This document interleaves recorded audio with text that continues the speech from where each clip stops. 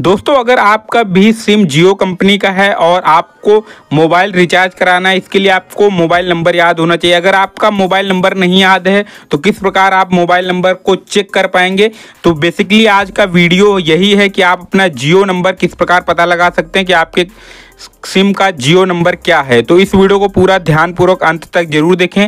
नमस्कार दोस्तों, मेरा नाम आशीष और आपका हमारे इस नए वीडियो में बहुत बहुत स्वागत है। तो चलिए वीडियो को शुरू करते हैं। सबसे पहले आप सभी को अपने डायलर पैड ओपन करना है। वन, टू डबल नाइन एक नंबर डायल कर देना है कॉल कर देना है। ये कॉल जो है ऑटोमेटिक डिस्कनेक्ट हो जाएगा और उसके बाद डिस्कनेक्ट होते ही आपके मोबाइल में एक एसएमएस जो आएगा। ये देखिए एसएमएस आया, उसको ओपन करेंगे।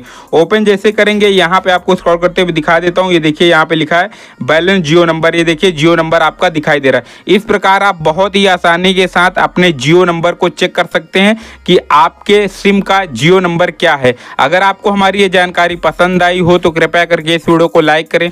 अपने सभी दोस्तों के साथ शेयर करें। चैनल को अभी तक सब्सक्राइब नहीं कर प्लीज़ सब्सक्राइब ज़रूर कर लीजिए हमारे चैनल को। साथ में नोटिफिकेशन बेल को ऑल नोटिफिकेशन पे ऑन ज़रूर कर लीजिए। आज के इस वीडियो में बस इतना ही। Thanks for watching my video जय हिंद, वंदे मातरम। बाय बाय दोस्तों।